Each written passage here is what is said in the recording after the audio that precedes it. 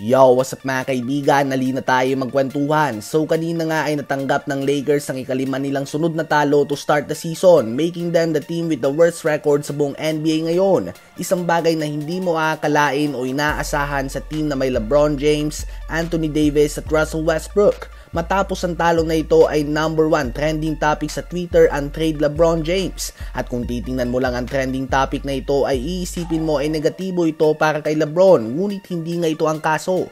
Dahil nag-trending ito sa kahilingan ng mga fans na may trade siya upang hindi na masira pa ang legasiya niya sa Lakers. Hindi niya nga daw deserve ang ganitong performance ng kanyang mga teammates. Nalintulad pa nga ito sa mga huling taon ni Kobe sa Lakers noon kung saan basically ay nasayang ito dahil nasa losing team siya.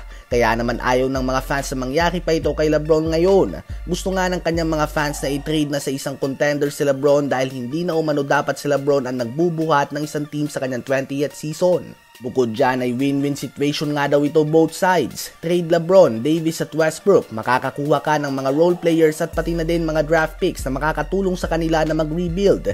At kailangan nga nila ito dahil wala na silang draft picks sa mga susunod na taon dahil naubos na nga ito sa mga trade sa mga stars. Madami nga nagsasabi na road to Victor Wembanyama na ang Lakers. Ngunit hindi nga ito pwede mangyari mga kaibigan dahil kasama sa Anthony Davis trade ang first round pick para sa next year's draft. Kaya naman kahit nga na magkaroon pa ang Lakers ng 0 wins and 82 losses na record, mapupunta lang ang peak na ito sa Pelicans. Kaya naman kung may team nga na masaya sa hindi magandang simula ng Lakers, yan nga ay ang Pelicans. Ngunit mabalik tayo kay Lebron. Kung may titrade nga siya sa isang contender, hindi masasayang ang kanyang mga huling taon sa NBA. Just imagine, si Lebron nga hanggang ngayon ay siya pa din ang pinakasikat na player sa NBA kasama si Steph Curry at naglalaro pa din siya sa mataas na level. Ngunit sayang nga kung maglalaro ito para sa wala dahil malabo nga na makapasok ang Lakers sa playoffs o kahit sa play-in tournament sa pinapakita nilang performance ngayon. Kayo ba mga kaibigan, suportado nyo ba na may trade si Lebron ngayong season?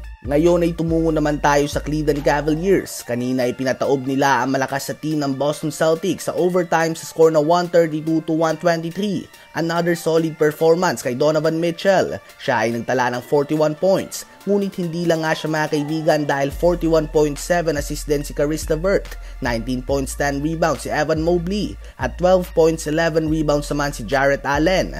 Ang Cavs ay may record na ngayon na 4 wins and 1 loss ang nakakabilib nga mga kaibigan sa performance ng Cavs lately ay ginagawa nila ito nang wala pa ang kanilang all-star na si Darius Garland. Bukod dyan ay babalik pa nga sa lineup na ito si Ricky Rubio. Kaya naman magiging kabang-abang talaga ang team na ito. Sa ngayon ay tabla sila sa Atlanta Hawks sa second and third spot sa East. Sa likod lamang yan ng nag-iisang team na wala pang talo sa NBA ngayon, ang Milwaukee Bucks. Ang Cavs ay pinapangunahan mga kaibigan ng 31 points, 5 rebounds at 6.4 assists per game ni Donovan Mitchell. Ano ba masasabi nyo tungkol dito?